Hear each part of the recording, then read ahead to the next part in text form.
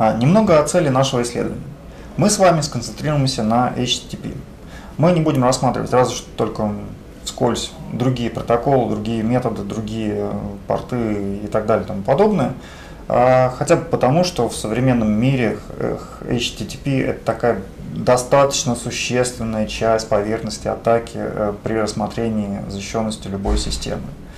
А, понятное дело, что есть ряд других сервисов, есть там SMTP, POP3, SMB, SVN, MySQL, прочее, прочее, прочее, прочее, прочее, много открытых портов может висеть э, на каком-нибудь IP. А, мы все остальное не будем рассматривать, поскольку в HTTP э, гораздо больше возможностей что-то сделать с нашей точки зрения. Мы можем провести анализ других протоколов э, и ничего не найти. А сконцентрировавшись на HTTP, мы там ну, в большинстве случаев обязательно что-нибудь найдем. Поэтому мы с вами сконцентрируемся именно на э, этом семействе протоколов. А, как вообще проходит анализ веб-системы? А, он обычно проходит в виде своеобразного цикла, цикла анализа. На вход цикла подаются точки входа, которые мы обсуждали на предыдущих занятиях. На этот момент мы определили те точки, на которые мы можем влиять, те параметры, которые попадают внутрь веб-системы и которые можно каким-то образом менять и смотреть, что получится. Далее мы ставим, э, выдвигаем некую гипотезу относительно того, как фильтруется или не фильтруется такой-то параметр внутри веб-системы. А для проверки этой гипотезы мы готовим критерии проверки, выполняем эти критерии проверки, смотрим, э, что получается. В случае, если проверка э, не прошла, мы переходим к следующей гипотезе. То есть здесь у нас э, на самом деле сливается вместе предыдущий опыт, знания и некий креативный подход, воображение для того, чтобы выдвинуть какие-то новые гипотезы, относительно того, что там происходит э, в недрах исследуемой нами системы. Не всегда все идет по проторенным путям, поэтому здесь очень важен элемент э, именно воображения. А, переходим к следующей гипотезе. Если же проверка прошла, все, мы достигли результата. Далее, в зависимости от, э, если результат это то, что мы искали от целевой системы, допустим, если рассматривать с точки зрения злоумышленника, злоумышленник никогда просто так, нет, вру ради фана тоже бывает что-то взламывают, но обычно время свое как-то жалко, и перед злоумышленником ставится какая-то определенная цель. Даже если э, взлом идет ради фана, то э, это удовольствие надо получить. То есть э, взламывается веб-сервер, хочется его задефейсить, что в последнее время становится все реже и реже, поскольку выгоднее его как-то по-другому использовать хочется его задефейсить, значит, э, для злоумышленников финальной целью это получение прав записи в веб-директорию.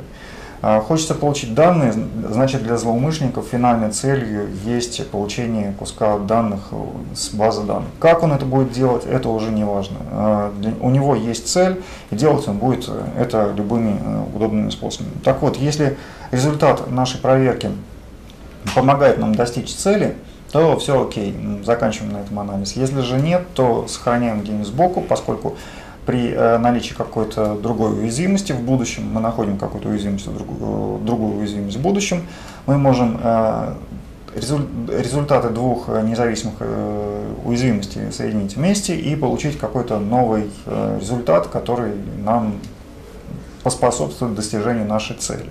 Поэтому все вот это запоминается, даже если напрямую сейчас ничего не получилось, э, все равно в будущем, вероятно, результаты эти нам могут пригодиться, понадобиться, поэтому э, все откладываем в сторону. В качестве критериев проверки э, очень удобно использовать подход, который направлен на то, чтобы получить от исследуемой системы три варианта ответа. А, у нас есть набор входных данных, которые мы э, в соответствии с нашей гипотезой относительно уязвимости составляем.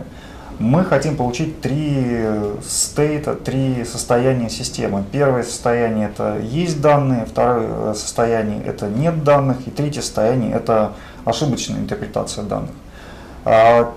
В случае с э, исследуемой системой э, на той стороне данные, которые мы передаем, могут использоваться в какой-то конструкции по выборке э, дополнительных данных или по совершению каких-то действий. А если действие определено, тогда у нас будут данные. Если действие не определено, у нас не будет данных. Если же обработка, первоначальная обработка этих данных, которые мы скормили системе через входные параметры, через точки доступа, привела к нарушению в логике работы системы, то мы получим в результате ошибку. А, давайте рассмотрим э, на примере следующую, э, следующую таблицу. У нас есть э, входные, входная точка, некая цель, домен target.com и параметр ID. Параметр ID может принимать какие-то значения. А, по ссылке на сайте э, мы увидели, что параметр ID как минимум принимает значение 1, 2, 3 и так далее. А, в нашей табличке, в нашей табличке определено э, состояние системы для случая, когда данные есть, заведомо есть. Э, это один из тех параметров, который встречается на сайте, ссылка на который встречается на сайте. Мы поставляем ID равно 1 и получаем результат, вывод нашей системы username двоеточие админ. То есть э, мы можем предположить, что один в данном случае является идентификатором некого пользователя, и имя этого пользователя выводится в качестве результата работы э, нашей исследуемой системы. А, тогда мы можем э, предположить, какой, какой, какие данные будут вполне нормальными, но не приведут к выборке данных, каких данных для какого идентификатора нет. Мы можем здесь использовать либо достаточно большой идентификатор, как э, на слайде э, показано, а, так и что-нибудь типа минус один, что гарантированно, что гарантированно э, не будет в качестве данных. А, мы используем в рамках нашей гипотезы параметр, который приведет к отсутствию данных и получаем вывод username, двоеточие и пустое место. Ура, мы получили пустое место. Далее э, наша задача получить э, ошибку, ошибочный вывод. А для этого мы смотрим, э, здесь у нас integer, здесь у нас integer, целочисленные переменные. Давайте попробуем ставить строчку и посмотрим, что будет.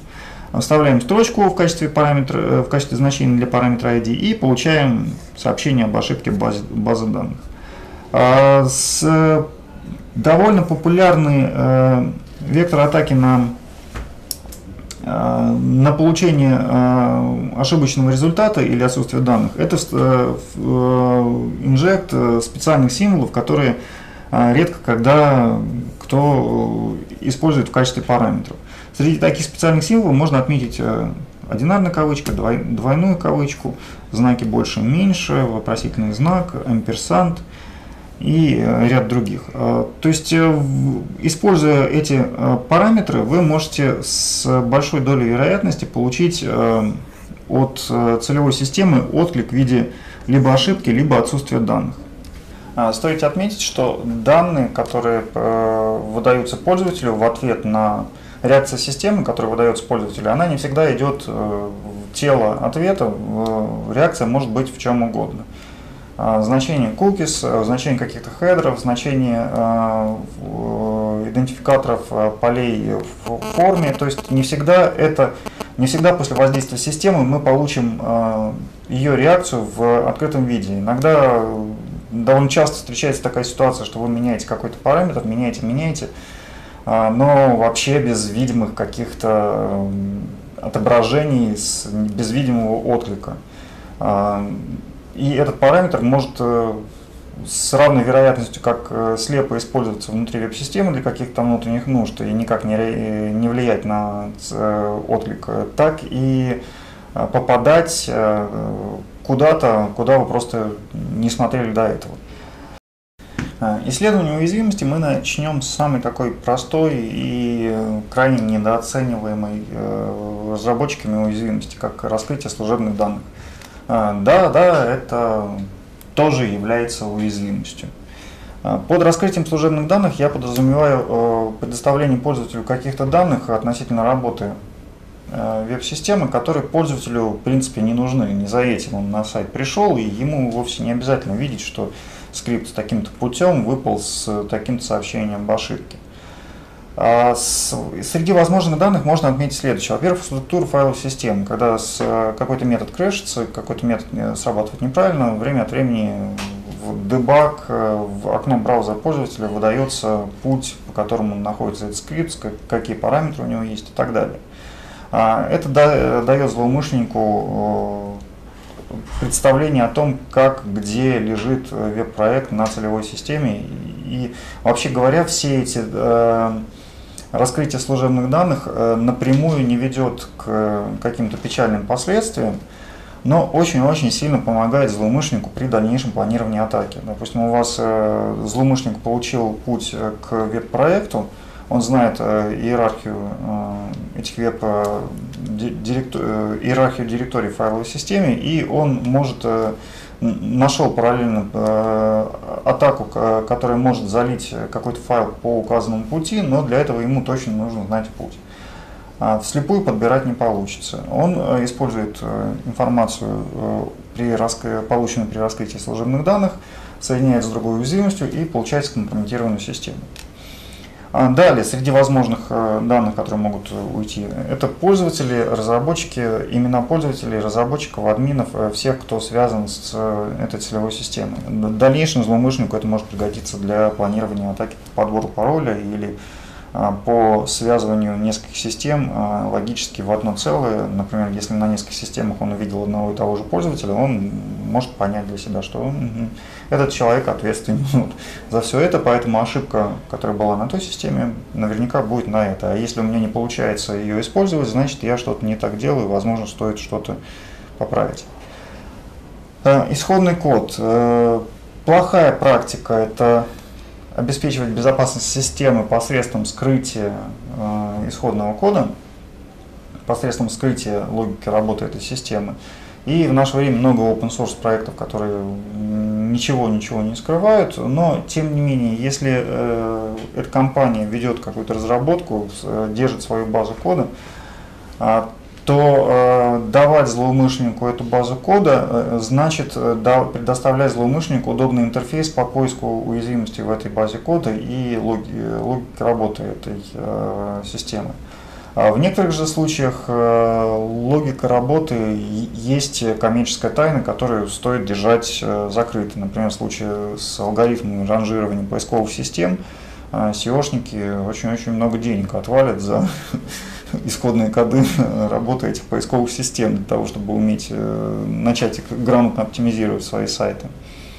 Следующая внутренняя архитектура, которая позволяет злоумышленнику узнать, что то, куда он обращается, является фронтендом, а бэкенд находится там-то на таком-то IP-адресе, а еще есть база данных с такими-то таблицами, а, и внутренние настройки э, компонентов, на базе которых работает веб-система, с phpinfo, э, например, функция phpinfo, которая дает все настройки PHP с путями, с компиляцией, со временем установки и так далее и тому подобное. Либо же настройка какого-нибудь веб-сервис, который, помимо всего прочего, позволяет посмотреть, какие еще виртуал-хосты обслуживаются на этом IP-адресе. И так далее и тому подобное. Э, вот эти вот все данные, они в отдельности ничего злоумышленнику не дадут, но в совокупности с чем другим, с э, могут э, очень-очень сильно облегчить, либо же сделать возможным какие-то другие атаки. По причинам возникновения с э, утечкой информации, а, даже не причинам, а тем местам, где стоит нам, как э, аналитикам, искать подобные ну, утечки информации. Во-первых, это ошибки приложений, то есть с нашей стороны а, добиться того, чтобы приложение сработало с ошибкой и выдало дамп, дебаг э, дамп, если он там разрешен. А, в дебаг, э, в дебаг дампе там обычно содержится очень-очень много всяких интересных вещей, вплоть до кусков, э, до фрагментов кода, в которых произошла та или иная ошибка. А если прямую добиться ошибки от приложения не получается, то есть все параметры фильтруются, еще э, все ошибки заворачиваются и так далее, можно пойти тяжелым путем, можно завалить систему запросами и часто встречаю такую ситуацию, что система, в принципе, во всех остальных случаях э, ведущая себя вполне корректно, под шторм запросов ложится, там бэкэнд базы данных ложится, и в результате э, фронтенд, который, на котором все это фильтруется, получает от бэкэнда сообщение об ошибке, не фильтрует его, поскольку он доверяет полностью бэкэнду. А бэкэнд валится под запросами, там упала база данных, и она об этом кричит, что на таком-то хосте упала такая-то DB с таким-то пользователем, ну, благо хватает ума в дебаг пароль не включать, но тем не менее. Ошибки конфигурации, когда системы сами, по сути дела, предоставляют э, какие-то служебные данные. Представьте, опять же, архитектуру с фронтендом и бэкэндом. А, на фронтенд приходит запрос на некий ресурс, бэкэнд это, об этом ресурсе не знает, э, сообщает 404 э, ошибкой о том, что сервер, висящий на таком-то порту, на таком-то IP, не может найти такой запрос, возвращает обратно фронтенду, фронтенд это выплевывает пользователю а злоумышленник видит, что ага, это фронтенд, а там еще бэкенд на таком-то IP, на таком-то э, порту. Окей. А, система контроля версий. Отдельная песня. А, система контроля версий сделана для того, чтобы облегчить жизнь разработчикам. Все, что нужно разработчику, это зайти в точку, где нужно развернуть проект и выполнить там magic э, movements э, для того, чтобы с, э, из системы контроля версий достать актуальную версию и разло, э, выложить ее. Но вместе с этим э, система контроля версий содержит метаданные относительно текущей версии программного обеспечения, которая лежит в системе контроля версий. И эти метаданные иногда предоставляют довольно-таки интересные вещи, типа как минимум, когда была э, текущая сборка, э, кто ответственен за сборку, в некоторых случаях э, позволяет взять исходники продуктов и так далее и тому подобное. С, то есть с точки зрения разработчика правильным, правильной раскладкой будет это либо использовать систему контроля версии, затем стирать, тереть за собой метаданные, сделать это в рамках какого-то скрипта выкладки, либо же э, э, чекаутиться в какую-то директорию и затем копировать только то, что нужно в рамке веб-директории. Либо же, э, ну, в принципе, это и так хорошая практика, запретить на уровне веб-сервера все э, файлы, которые не относятся к, к делу. То есть, если у нас есть GSP, мы разрешаем только GSP, HTML и какую-то статику фиксированную, TXT, JPEG, GIF и так далее запрещаем все остальное. Таким образом, мы, э, э, злоумышленник не сможет э, взять метаданные и посмотреть, что у них там содержится. HTML-код, где разработчики очень любят оставлять разные интересные вещи, начиная от личных посланий друг к другу, заканчивая кусками фронтенд кода, который был закомментарен и перешел из разряда интерпретируемого на фронтенде в разряд HTML. А, мусорные файлы, все то, что разработчики по каким-то причинам оставили после разработки для тестирования каких-нибудь вещей или каких-нибудь концепций. Все это там остается, продолжает жить. Особенно много таких файлов в случае, если разработка ведется прямо на живом. То есть, э, э, случается какая-то ситуация, в компании настроен цикл разработки с тестированием выкладкой, но вот случается какая-то ситуация, быстренько набегают разработчики, начинают что-то делать, после них остаются вещи типа индекс.php переименовывается в index.php.old или .back, э, на его месте создается э, новый индекс PHP, в это время индекс php.old остается на веб-сервере, доступный, через, э, доступный посредством браузера. И так как расширение old не трактуется как PHP, то есть интерпретации не происходит, выплевывается как есть, то есть исходный код index PHP, каким он когда-то был. А, кроме этого, еще разные тестовые сущности, э, мусор э, в виде каких-то артефактов, заметок, э, там с DB и же с ним. Иногда встречаются совсем-совсем запущенные случаи. Это бэкап всего проекта, бэкап базы данных или вообще всего проекта, сложный, аккуратненько, прямо в область, доступную через веб, э, и вещи типа SQL debug, о, SQL dump.backup.zip, э, они, к сожалению, в нашем мире вполне распространены. Давайте рассмотрим один из примеров выдачи служебных данных – а здесь речь идет о домене intro-trophy-area.com, где есть э, скрипт misuse.php с параметром p, который принимает некое значение, которое соответствует файлу. Э, далее этот скрипт берет этот файл э, с вот этим именем, загружает его и показывает пользователю. Если ввести несуществующий файл, вот как мы сделали в данном случае, мы ввели имя файла в 1, а, произойдет исключение э, в работе скрипта, и нам на дебаг э, выдастся э, следующее сообщение. Warning code once, failed to open stream, бла-бла-бла, no such file directory in, и далее информация, которая в потенциале довольно интересна злоумышленнику. То есть вот эта информация, вот, вот этот вот кусок данных нам говорит, что на, сер, на сервере метод misuse php лежит в директории var www. Вот здесь. В дальнейшем злоумышленник может воспользоваться этой информацией, чтобы уже точно позиционировать свои э, попытки загрузки чего-либо, начиная с var Немного про метаданные. В, на этом слайде представлен результат работы вот этой команды svn, checkout, http, svn, egroupware.org, egroupware, trunk, alias, default и так далее. А, эту команду я взял с сайта egroupware, это некая большая-большая система для э, некая большая веб-система. И они на своем сайте предлагают э, SVN прямо в директорию, веб-директорию. Э, таким, как раз именно таким образом. То есть сначала заходим на веб-директорию, затем выполняем эту команду SVN, checkout и так далее. Вот что в результате получается в в директории eGroupWare. То есть после выполнения этой команды у нас э, появляется директория eGroupWare и с вот этим содержимым. То есть это написано на PHP, написанная на PHP некая система, которая там обладает массой-массой всяких э, функций, массой модулей содержит в своем составе и так далее и тому подобное. Но нас интересует не это, а директория egroupware.svn. В принципе, в любой директории будет э, после э, работы э, команды svn будет вот такая вот директория. Она скрытая, поэтому нужно принудительно сделать ls на нее. Мы увидим, что там находятся следующие файлы. Entries, формат, Pristine, TMP, VC, и так далее.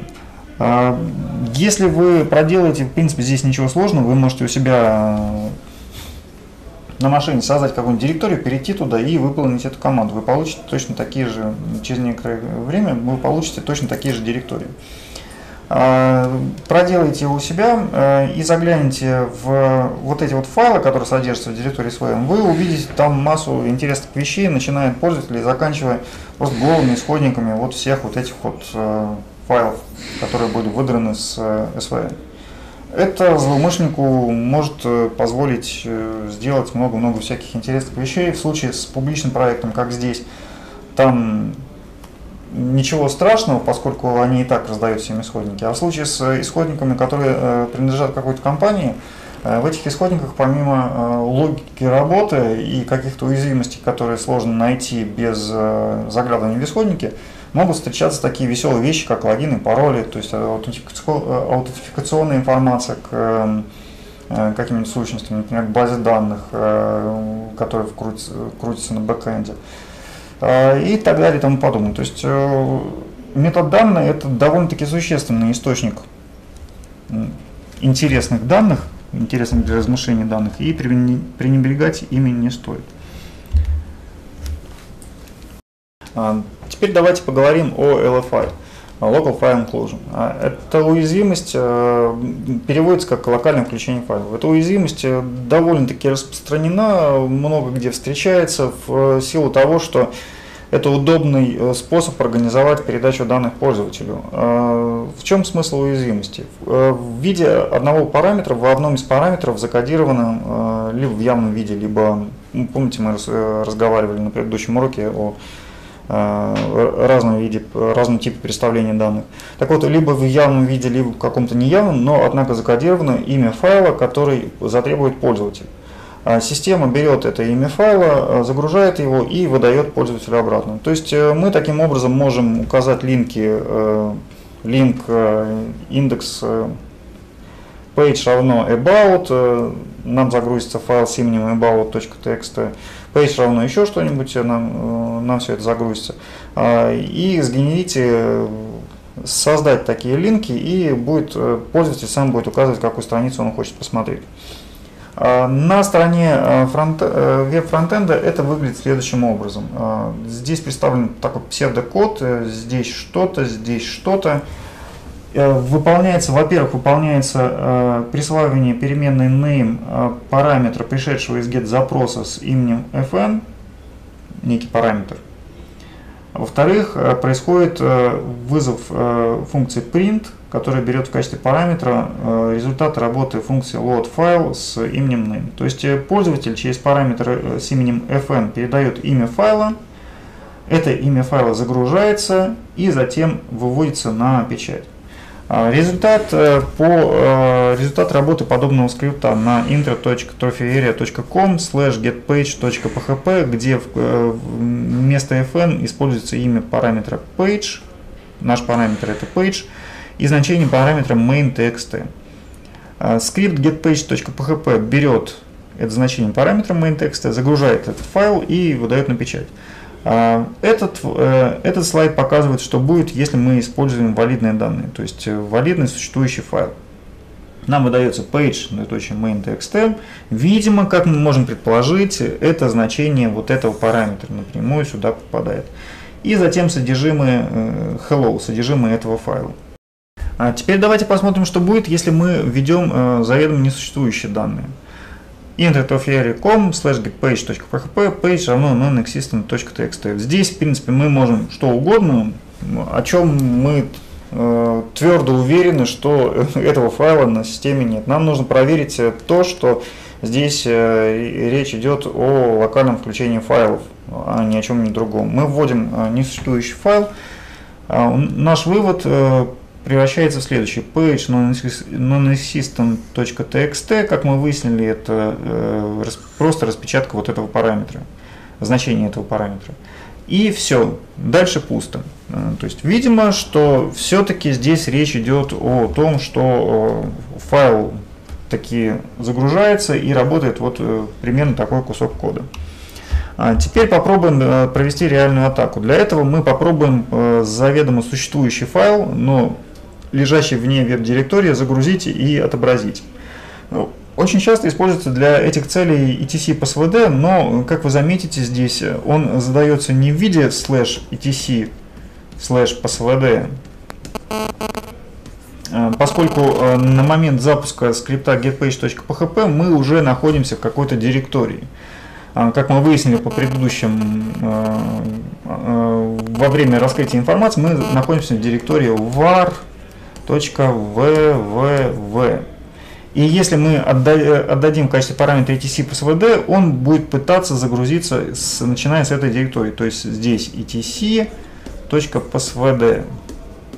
Естественно, он не найдет такого файла и выдаст э, пустую страницу.